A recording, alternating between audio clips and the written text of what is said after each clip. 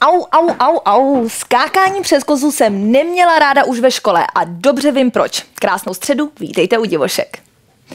Nejen pády nebo trapasy máme v divoškách rádi, ujíždíme si i na kouzlech přírody a proto nás taky oslovilo video Dáši Půlkrabové. Taková lovící vidra při akci, tomu říkám úlovek a my přidáváme lovící vidru v moderním podání. Tak prý vy všichni naši věrní divočáci víte, kdo je ledňáček. Já tady na začátku roku chyběla, takže jsem malinko tápala, ale náš věrný divácký reportér Jaromír Staněk už mi naštěstí všechno osvětlil.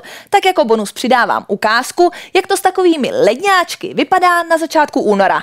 Názorně předvede můj asistent, francouzský buldoček.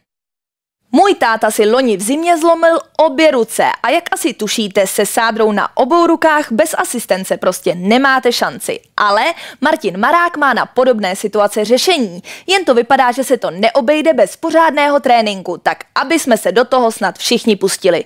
No nikdy nevíte, kdy se vám taková dovednost bude hodit. Už asi všichni jsme si někdy vyzkoušeli krmení divokých kachen. Řekla bych, že to je taková pěkná česká zimní tradice, ale může být zrádná. Stačí, když je ten houf malinko početnější a už jde do tuhýho.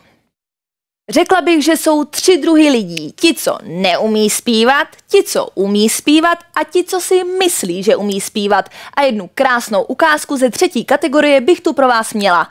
Možná, kdyby zkusila třeba vyměnit repertoár, no nebo ať zkusí třeba recitovat. Rihanna žaluje svého vlastního otce. Proč? Tak to už prozradí Laťka a Topstar. Už za chviličku.